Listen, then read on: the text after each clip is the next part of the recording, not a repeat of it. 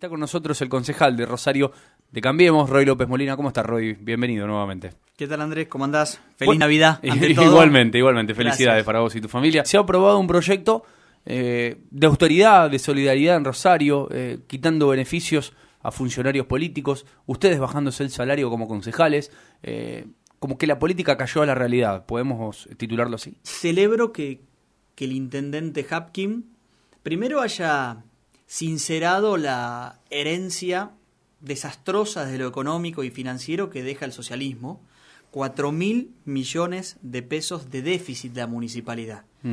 Eh, por eso no solamente es, es correcto que lo hayan sincerado, sino también que lo haya acompañado con un decreto de austeridad, él lo llamó, donde empezaron a atacar algunos gastos superfluos. Yo me acuerdo que en el debate de intendentes yo había dicho la municipalidad está quebrada y entre eso había mencionado, por ejemplo, 300 millones de pesos que la municipalidad gastaba en el transporte de los funcionarios.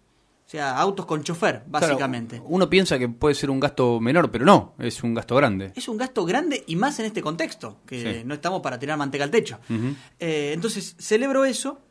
Y el Consejo, además de sumarse aprobando un presupuesto que intenta buscar ese equilibrio, de a poco, no va a ser de un día para otro, para que los números cierren y cuando cierran los números empezamos a hablar de obras y de servicios al Rosarín y no solamente cómo tapar los rojos, sino que también se suma con una medida que hay que entenderla no haciéndonos los héroes, ni tampoco la hipocresía de plantear, bueno, con esto se resuelven los problemas de Rosario. Pero si hay un contexto nacional difícil y todo el mundo, desde los distintos niveles de Estado, se están pidiendo sacrificios y esfuerzos, me parece que es una medida de ejemplaridad. Es decir, bueno, los Mm. funcionarios públicos arrancamos con este gesto. Ojalá se sumen los diputados provinciales, los senadores provinciales, eh, a nivel nacional, eh, para que el esfuerzo sea compartido y no haya algunos privilegiados y Claro. otros que ponen el lomo. Nosotros decíamos en los micrófonos, 12 millones de pesos al año no es plata para la municipalidad o para el Consejo Municipal. Ahora, por lo menos nos hace sentir que no somos unos giles, ¿no? Eh, que vamos a pagar más TGI, más transporte, más DREI, más todo. Sí, sin duda, sin duda por eso. Primero porque, a ver, los concejales también pagamos eh, más Sí, TGI, TGI, y demás. claro, sí, sí, Eh, sí. Pero nos parecía que era un momento para mandar un gesto de ejemplaridad. Sí, sí, sin comparto. heroísmo, sin caretearla, sin hipocresía, pero decir, bueno, nosotros desde nuestro lugar, porque podemos votarlo nosotros, hacemos esto. Por eso fue avalado por unanimidad eh, y, me parece que está bien. Ahora, eh, cuando uno vio cómo se votó este proyecto eh, de austeridad, de solidaridad, de emergencia económica, pongámosle el nombre que, que querramos a este proyecto que se aprobó y obviamente con el presupuesto 2020 del municipio, ve que se votó también en consonancia con lo que había sido el acuerdo institucional. Eh, los bloques que habían quedado heridos votaron en contra de este presupuesto dentro de lo que era el Consejo. ¿Hubo una, una instancia de diálogo? ¿Hubo al menos algún acercamiento? Sí se puede dividir la discusión entre aquellos que asumen la realidad de Rosario compleja, difícil, no solamente lo económico, ¿eh? ni hablar temas de inseguridad, de transporte, de obra Sí, sí, pública, con una mirada responsable, y aquellos que pretenden hacer leña del árbol caído y ver si pueden en el corto plazo sacar algún rédito político. Y la verdad que yo lo que reconozco es que detrás de este presupuesto, donde desde distintos sectores hicieron aportes que fueron bien tomados por el oficialismo, hay un sentido de la responsabilidad, de entender que el contexto nacional eh, nos impide estar bailando al lado del abismo y hay un intendente que tiene dos semanas de gestión y que necesita que el Consejo le dé el combustible para que pueda empezar a resolver problemas y no ponerle palos en la rueda. De acá a un año veremos Claro. si con este presupuesto Hapkin resolvió alguno de los problemas que tiene la ciudad o no los resolvió o los agravó. Mm. Pero me parece absolutamente mezquino que a dos semanas, cuando afuera del Consejo la gente te pide, sí, yo sé que vos tenés diferencias con el socialismo, con el radicalismo, con el peronismo, pero ponete de acuerdo, porque si no, no avanzamos. Mm. Eh, y eso fue lo que se reflejó el día martes en esa sesión que duró hasta la madrugada. ¿Qué trabó la discusión? Digo, ¿por qué a las siete y media de la mañana se termina aprobando? No, en realidad no, no había algo que lo había trabado, pero a ver, esto tiene alguna explicación que, que a veces no, es, es más técnica, pero el presupuesto por ley Sí. se tiene que presentar en septiembre. Generalmente se presenta en noviembre. Sí. Ahora, Pablo Hapkin le pidió a la intendenta que, que no le envíe ella el presupuesto, sino que le dé tiempo para que sea él el que mire los números y presente el presupuesto. Con Diego Gómez a la cabeza. Con el nuevo secretario de Sí. Hacienda. Y eso me parece Sí. que está bien, porque el presupuesto es en definitiva el proyecto político del intendente, el gobernador o del presidente que se pasa a números. Entonces, al, al hacer ese pedido y la intendenta respetarlo, asumió el 10 de diciembre y a la semana presentó el presupuesto. Entonces eso nos quedó, nos dejó poco margen para la discusión, porque la idea era que él arranque el 2020 con el presupuesto aprobado. Claro. Entonces eso, todas las discusiones que habitualmente se dan en un mes, en un mes y medio, se compactaron en menos de una semana. Pero bueno, mm, llevó tiempo y eso logró que cada se hicieron aportes de, de algunos bloques a mejorar las partidas de niñez, otros a, a mejorar las partidas eh, vinculadas a, a- a todo lo que tiene que ver con la violencia hacia la mujer Mm. o, o- o- o los instrumentos para eh, combatirla eh, y de nuestra parte una propuesta que me parece absolutamente fundamental para este momento que es aumentar la partida de seguridad y control en Rosario. Eh, Se viene una discusión este año, eh, que es la renovación o no del pliego de la basura. Mm.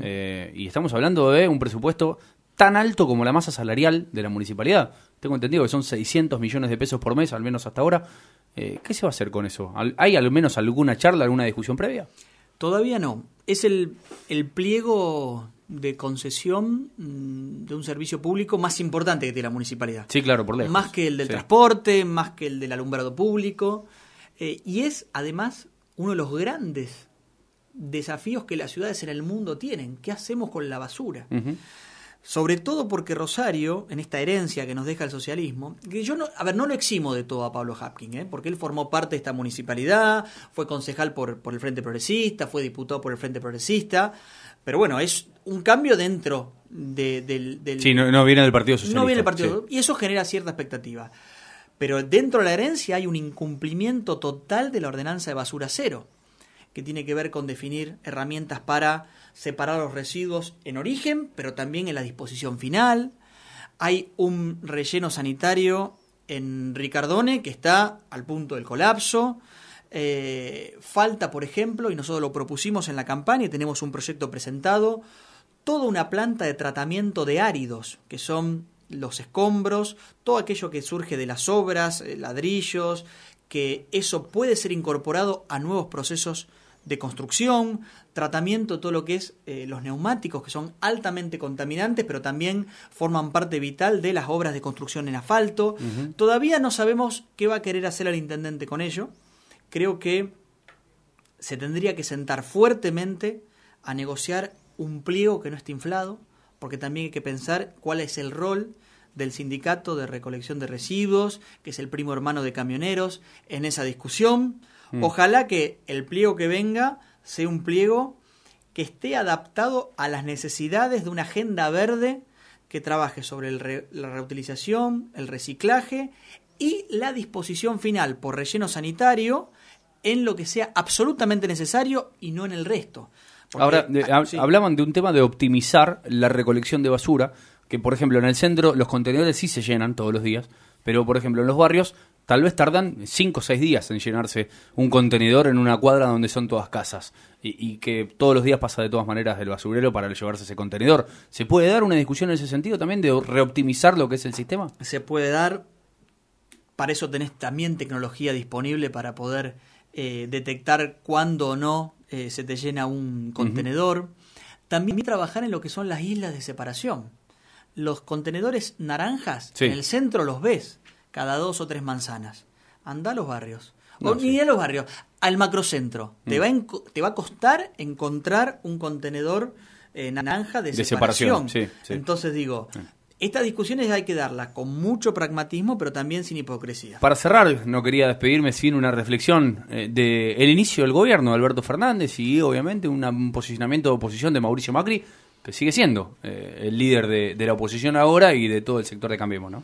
Sí, creo que en la primera decisión eh, de Alberto Fernández eh, nos dimos cuenta lo que muchos ya creíamos, que se va a empezar a manejar con la misma lógica del kirchnerismo. Las leyes de emergencia eran la excusa para un impuestazo donde había retenciones, impuestos eh, a los bienes personales, a los bienes en el extranjero, ese 30% de, de del dólar para atesoramiento significó un sí, tremendo 82 pesos hoy más o menos. Un exacto, un tremendo impuestazo que además va a quedar en más de un 80% para el gobierno nacional y solamente se va a coparticipar el 13%. Entonces, eh, en un gobierno que empieza a mostrar ya la voracidad, empieza a mostrar el autoritarismo y el manejo discrecional de las herramientas eh, del Estado Nacional, es cuanto más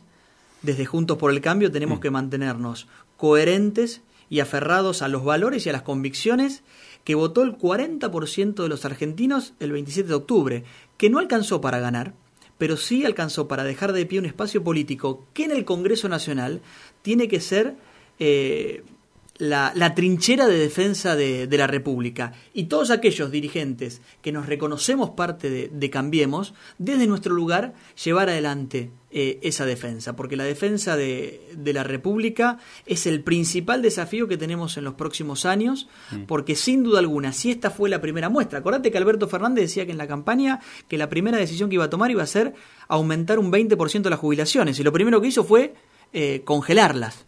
Pensá si un 10% de lo que se votó en el Congreso lo intentaba el gobierno de Cambiemos. Prendía fuego la Rosada y el Congreso con todos adentro.